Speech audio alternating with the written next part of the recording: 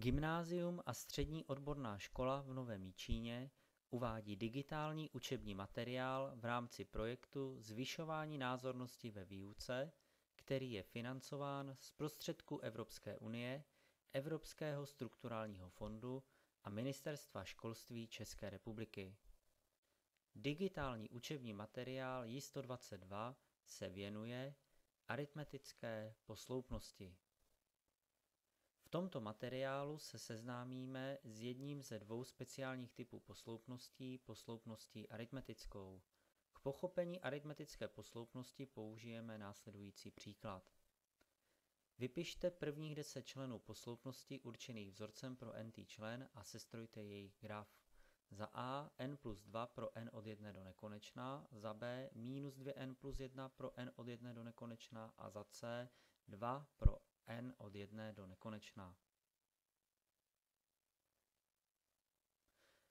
Posloupnost n plus 2 pro n od 1 do nekonečna má první člen a1 tak, že za n dosadíme jedničku, tedy a1 se rovná 3.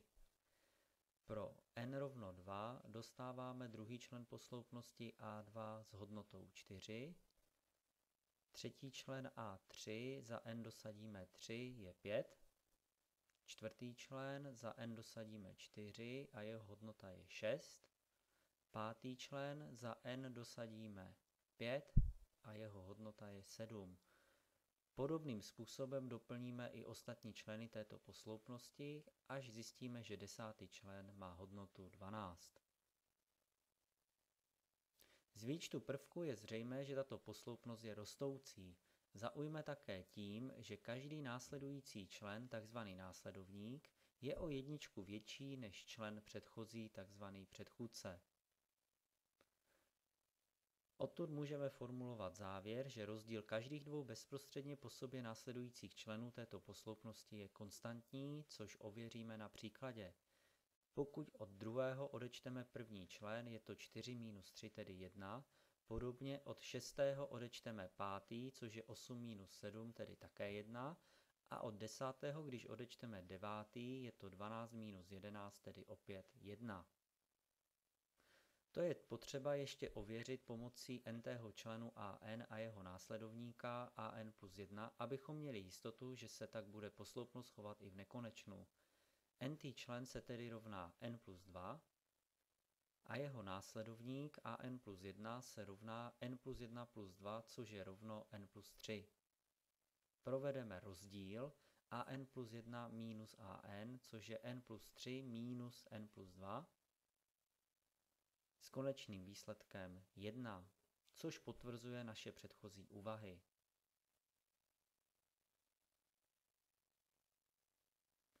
Posledním úkolem je sestrojení grafu této posloupnosti pro prvních 10 členů. Připomeňme výčtem prvků členy této posloupnosti A1 3, A2 4, A3 5 a tak dále, až poslední člen A10 je 12. Grafem každé posloupnosti je množina izolovaných bodů, kde prvnímu členu A1 přiřadíme souřadnice 1, 3, druhý člen má souřadnice 2, 4, třetí člen souřadnice 3, 5, čtvrtý 4, 6, pátý 5, 7 a tak doplníme i ostatní členy této posloupnosti.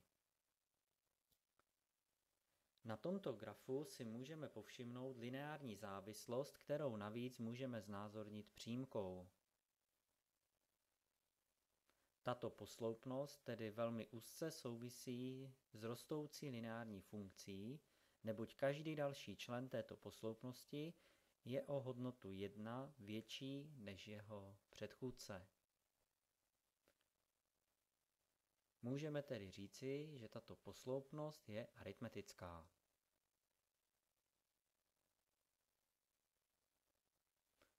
Za b je dána posloupnost minus 2n plus 1 pro n od 1 do nekonečna. První člen této posloupnosti a1 získáme dosazením jedničky za n, tedy hodnota minus 1. Pro n rovno 2 dostaneme druhý člen a2 s hodnotou minus 3. Po dosazení trojky třetí člen s hodnotou minus 5, po dosazení čtyřky čtvrtý člen s hodnotou minus 7, pátý člen s hodnotou minus 9 a stejným způsobem získáme i ostatní členy této posloupnosti. Člen A10 má hodnotu minus 19. Z výčtu prvků je zřejmé, že tato posloupnost je klesající. Také v této posloupnosti je na prvních členech vidět, že každý následovník je tentokrát o číslo 2 menší než jeho předchůdce. Tedy rozdíl každých dvou bezprostředně po sobě následujících členů této posloupnosti je opět konstantní. Například a2 minus a1 je minus 3 minus závorka minus 1, tedy minus 2. a6 minus a5 je minus 11 minus závorka minus 9, což je opět minus 2. A také když od desátého odečteme devátý člen, je to minus 19 minus závorka minus 17 s hodnotou minus 2. I tuto vlastnost ověříme pomocí nt členu a jeho následovníku. an se rovná minus 2n plus 1 a člen an plus 1 se rovná po úpravách minus 2n minus 1. Provedeme rozdíl an plus 1 minus an, což se tedy rovná minus 2n minus 1 minus závorka minus 2n plus 1, což po všech úpravách vede k výsledné hodnotě minus 2. Nyní sestrojíme graf této posloupnosti. Připomeňme si posloupnost výčtem prvků. A1 je minus 1, A2 minus 3, A3 minus 5, až desátý člen je minus 19.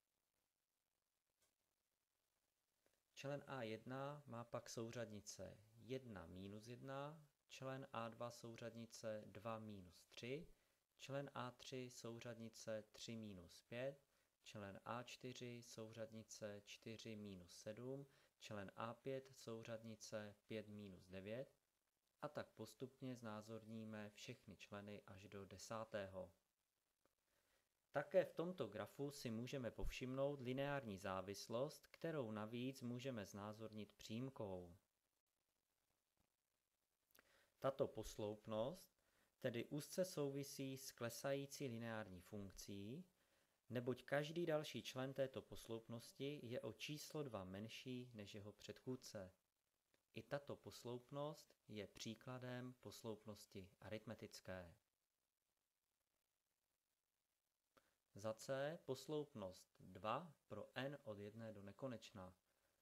První člen této posloupnosti má hodnotu 2. Druhý člen je také roven dvěma. Třetí také 2. I všechny ostatní členy této posloupnosti mají stále stejnou hodnotu 2. Z výčtu prvků je zřejmé, že tato posloupnost je konstantní. V tomto případě mají všechny členy posloupnosti stejnou hodnotu – Následovník se číselně rovná předchůdci. I zde platí, že rozdíl každých dvou bezprostředně po sobě následujících členů je konstantní. I tuto vlastnost ověříme pomocí nt členu a jeho následovníka. nt člen an se rovná 2, an plus 1 se také rovná 2. Odečtením těchto dvou členů od sebe dostaneme hodnotu 0. Tím jsme opět ověřili platnost našeho závěru.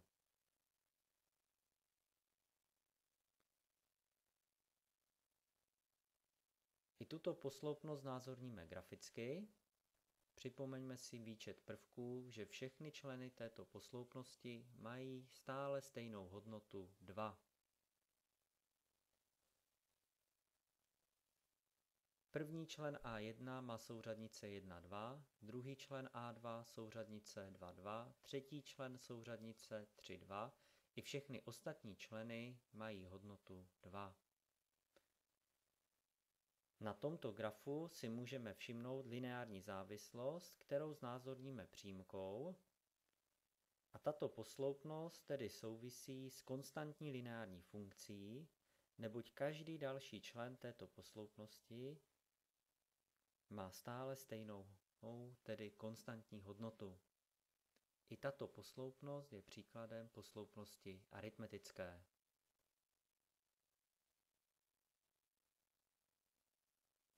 Nyní můžeme přistoupit k definici.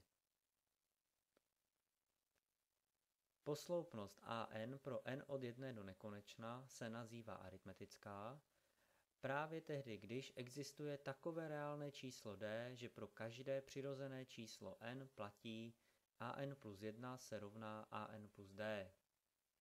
Číslo d se nazývá diference neboli rozdíl aritmetické posloupnosti. Na základě definice se pak provádí důkaz aritmetické posloupnosti, to je, určuje se hodnota diference d, neboť z definice vyplývá, že d se rovná an plus 1 minus an.